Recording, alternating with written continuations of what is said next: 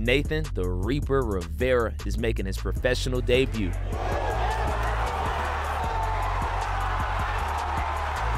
When I had my first fight with the NFC in 2020, I had said I was going to fight till I was 26 years old, and then in my 26th year, I was going to go professional.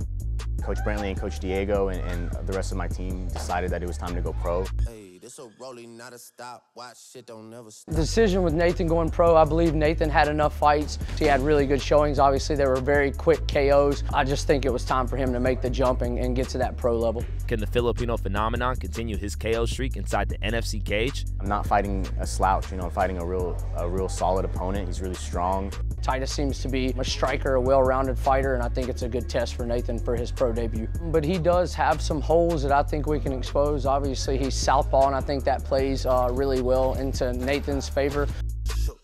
Pulling back the curtain by myself, take a look. There's a lot of things that I haven't been able to show in the last couple of fights. So I'm ready to, uh, to put it on the line against a solid competitor in Titus Moore. I'm sure he's got good training partners, good gyms, but I just believe we're better. I believe we're going to show that on fight night. Only one way to find out. Friday, August 4th, live at the Battery. Tickets at nfcfighting.com.